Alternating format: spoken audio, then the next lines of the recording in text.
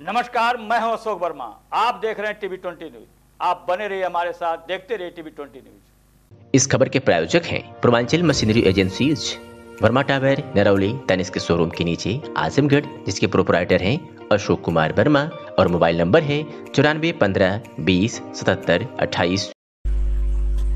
आजमगढ़ में गैंगस्टर जीवा की हत्या के बाद आजमगढ़ न्यायालय की सुरक्षा को बढ़ा दिया गया है। न्यायालय परिसर में गैंगस्टर जीवा की हत्या के बाद प्रदेश भर में सभी न्यायालयों की सुरक्षा बढ़ा दी गई है। इसी के मद्देनजर ज़िले के न्यायालय में भी आ जा रहे व्यक्तियों पर कड़ी नज़र रखी जा रही है। पुलिस अधीक्षक ने बताया कि जिस तरीके से प्रदेश में जीवा हत्याकांड को लेकर के हर न्यायालय की सुरक्षा बढ़ा दी गई है, उसी के मद्देनजर आजमगढ़ न्यायालय परिसर में भी ऐसे व्यक्तियों पर नज़र रखी जा रही है और जो संदिग्ध लग रहे हैं, उनकी तलाशी भी ली जा रही है।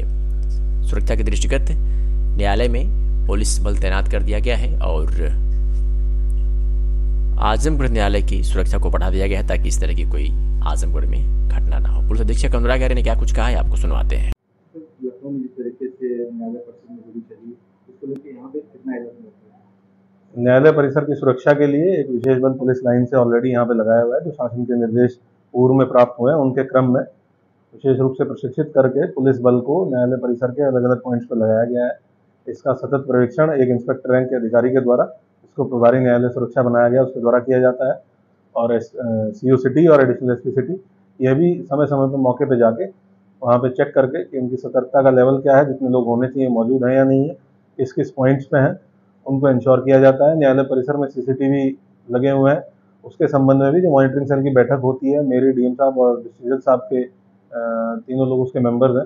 उसमें भी न्यायालय परिसर की सुरक्षा के बारे में, वहाँ पे जो उपकरण लगे हुए हैं, उनकी स्थिति के बारे में और भी जो सुझाव है, उनके बारे में डिस्कशन होता है, जिसके आधार पर हम लोग सुरक्षा इंश्योर करते हैं।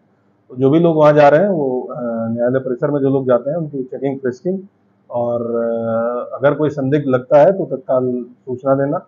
अधिकारियों को सूचित करना और उसके एसओपी के अनुसार आगे कार्रवाई करना इस सब के बारे में सभी को ब्रीफ किया गया है और सभी को अलर्ट किया गया है।